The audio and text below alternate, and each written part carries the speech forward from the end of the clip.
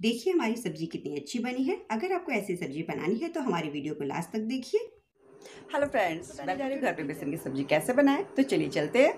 Hello friends आज मैं बनाने जा रही हूँ बेसन की एक नई तरीके की सब्ज़ी। तो चलिए इंग्रेडिएंट जान लेते हैं। इसके लिए हमें चाहिए कटी हुई अदरक लहसुन और हरी मिर्च लगभग एक टेबल स्पून नमक लगभग एक tablespoon baking powder half tablespoon red chilli paste एक टेबल स्पून जीरा हाफ़ टेबल स्पून कटी हुई प्याज बारीक कटी हुई हाफ़ बाउल बेसन हमें एक फुल बाउल चाहिए और टोमेटो ग्रेवी चाहिए वन फुल बाउल अब हम लेंगे एक,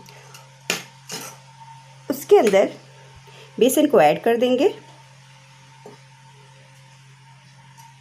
इसमें ऐड करेंगे हम सॉल्ट और ऐड करेंगे बेकिंग पाउडर से मिक्स कर लेंगे। अब हम इसमें थोड़ी सी रेड चिली पेस्ट ऐड करेंगे।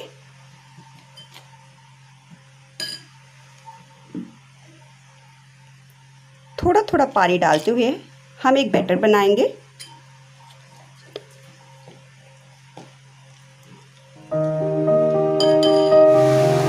ये देखिए मेरा बैटर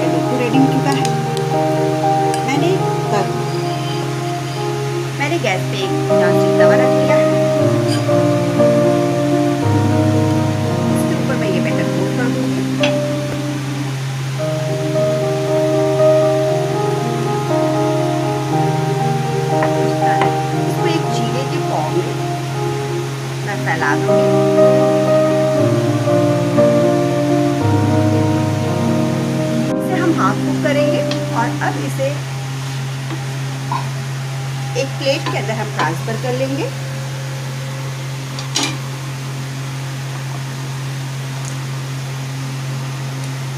और उसके बाद अब एक नाइफ की सहायता से इसको स्क्वायर पीसेस में कट कर लेंगे। इसको गरम गरम में ही कट करिएगा। ठंडे होने पे ये बिल्कुल कड़ा हो जाएगा और ये अच्छे से कटेगा नहीं। ये देखिए, ये हमारे स्क्वायर पीसेस कट के रेडी हो गए हैं। इस इसे हम ग्रेवी के अंदर डिप करके बेसन की बहुत ही टेस्टी और यमी से सब्ज़ी बनाएँगे। मैंने कुकर को गैस पे रख लिया है, बस बड़े चम्मच तेल का ऐड कर लूँगी। तेल अच्छे से गर्म हो जाएगा, मैं इसमें थोड़े से जीरे ऐड करूँगी। जीरा अच्छे से लाल हो गया है, अब मैं इसके अंदर अपना ओनियन ऐड कर दूँगी। ओनियन ऐड करने के बाद मैं इसमें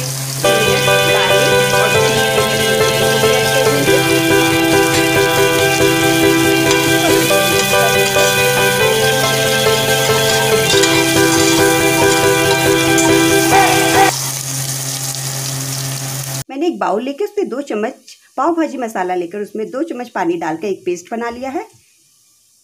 इस पेस्ट को मैं ओनियन में ऐड कर दूँगी।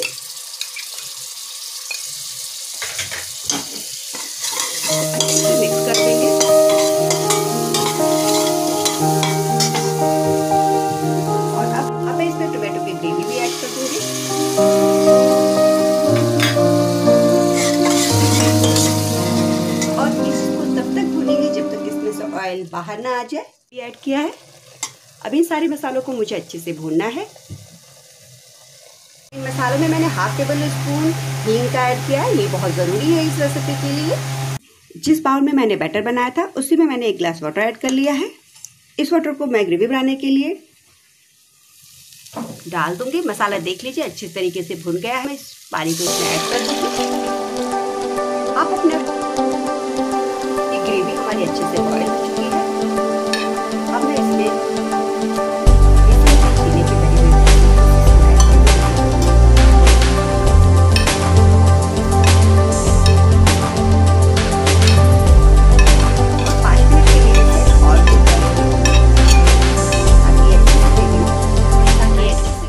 फ्रेंड्स अगर ये रेसिपी आपको अच्छी लगी हो तो मेरे चैनल को लाइक सब्सक्राइब और शेयर करिए। Thanks friend